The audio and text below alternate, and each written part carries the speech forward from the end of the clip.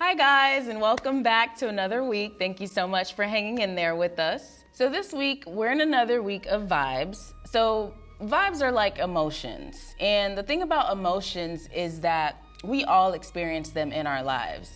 And sometimes, without even realizing it, those vibes can end up controlling us in a way that is not at all healthy.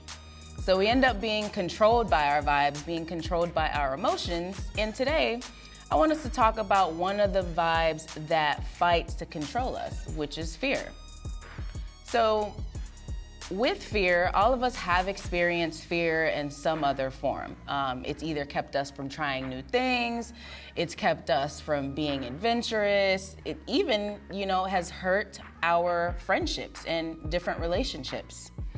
For me, I, I can, you know, call myself pretty adventurous now that I've gotten over this fear. But um, I remember I was on a girls' trip um, in Jamaica, and we all decided that we were gonna go parasailing.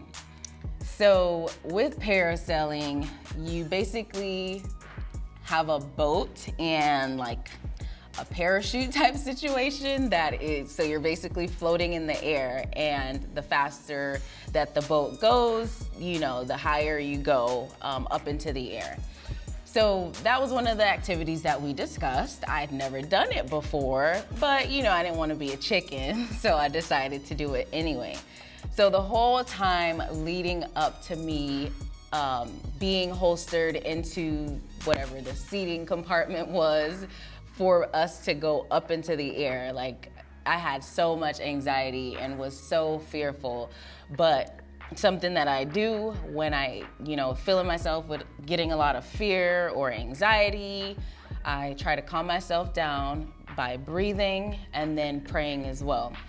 So we took off, and it actually was a very calming experience. Like the whole time I was up there, I was just in awe of how beautiful everything was and how great God's creation is. And so that's just, you know, a one off situation. There's been plenty of times where I've been fearful before and have had to realize that I cannot let that control me. So, that being said, the crazy thing about fear is that our ability to experience it is something that makes us human. It's completely normal. You know, we are where we are today because the human race has been able to, you know, accumulate knowledge. They've been able to build on that knowledge and then project that into the future. So I think we all can agree that the hope side is awesome we love imagining, we love dreaming, we love inventing, but a lot of that that you don't see, you know, on the backside is that fear that people have when they're wanting to create and wanting to invent things. But as you can imagine, if people were to let that fear cripple them, we wouldn't have a lot of the things that we have today. And we all know that the what ifs make us feel a bit crazy, if I must say myself. Think about the last time that you were afraid about how much of your day was spent thinking as well as stressing over it. If you're anything like me, it's most of your day. You're thinking about it, you're working through scenarios, trying to plan out what to say in your head, when really, Jesus has a lot to say, and there's a lot of good news when it comes to that. The problem is, we tend to read verses where Jesus talks about fear. And for example, Jesus said, Fear not. In other words, when it comes to fear, just stop and quit. Not exactly helpful, right? So today, I want you to look at a passage where Jesus talks to some of his close friends about fear, but with a little bit more context. So we're gonna dive straight into this lesson. So Jesus had 12 main people who followed him around and who learned from him. And these 12 people are known as the 12 disciples.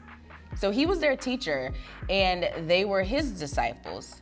So they also happen to be close friends of his. And at one point, he tells them this I'm going to send you out like sheep among wolves. Matthew 10, verse 16. Think about it wolves are like predators. Anything that you read about, anything that you see in movies, wolves are often associated with fear. and sheep are the prey. So Jesus is like, so you guys are the prey, and I'm throwing you out to the wolves. That's basically what this verse is saying. And then he gets more literal. He tells them that they will also be arrested and beaten. Who in the world would want to go through that? And to wrap it all up, he tells them not to be afraid those things are going to come. Sounds easy, not really. But when you look at the context of it, this is all part of a bigger story.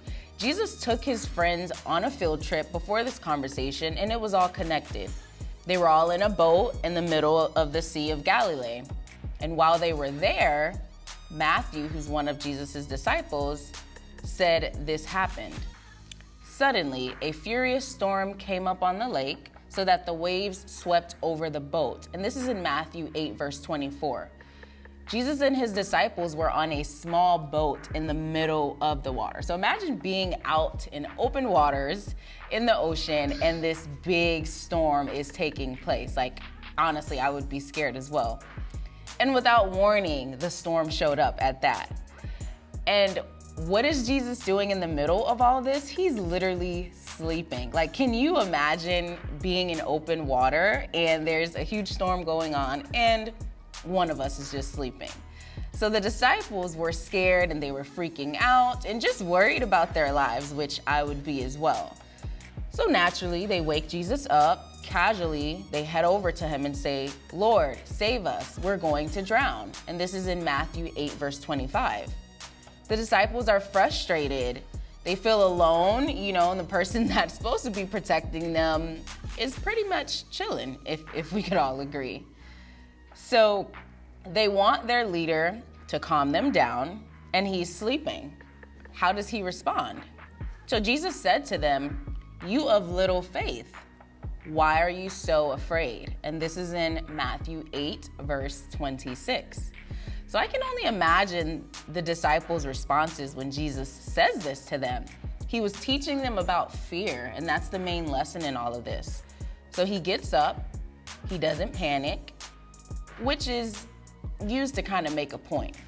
No matter how scary a circumstance may be, Jesus says to stay calm. And in this situation, Jesus himself stayed calm.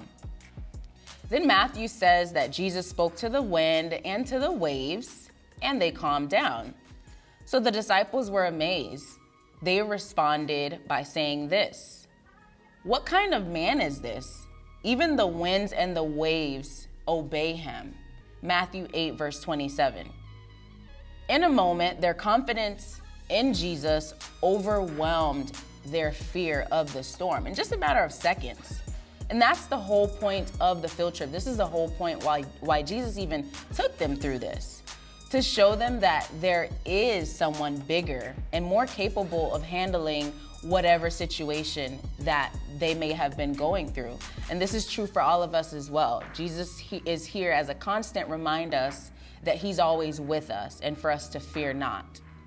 We all know that fear will always be a part of our experience. We're humans. That's that's natural.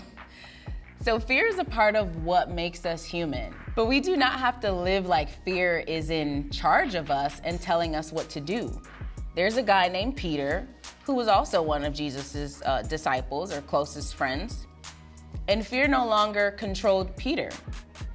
So he gave some tips about fear in a letter that he writes to Christians who never had a chance to meet Jesus themselves.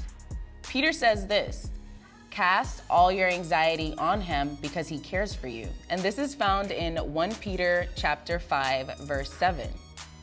When Peter says cast, he means to throw, to hurl. When you feel anxiety, fear, or worry, take it and throw it to Jesus. Why, you may ask? Because of Jesus, fear doesn't have to be the boss of you. So here's what I want you to do when fear becomes the vibe and when fear starts to take over your life and to control your emotions, do this. Name whatever it is that you're afraid of, write it down, and then throw that fear to Jesus. Talk to a small group leader about any fears that you may be having, any positive influences in your life that you feel comfortable with sharing those fears, and they can definitely give you some sound advice as well. But most of all, you want to remember to, to cast all your cares on Him because He does care for you. So, as we wrap it up today, I hope that you guys all will remember that these vibes, these emotions, these feelings, they don't have to control us, especially fear. So while we can learn from our emotions, we need to know that because of Jesus, they don't have to be the boss of us. Let's be bold and let's be courageous. Let's be bold enough to share the fears that we face. And together, we can help help each other so that we may fear not. Thanks for tuning in, guys, and I hope you enjoy this week's lesson.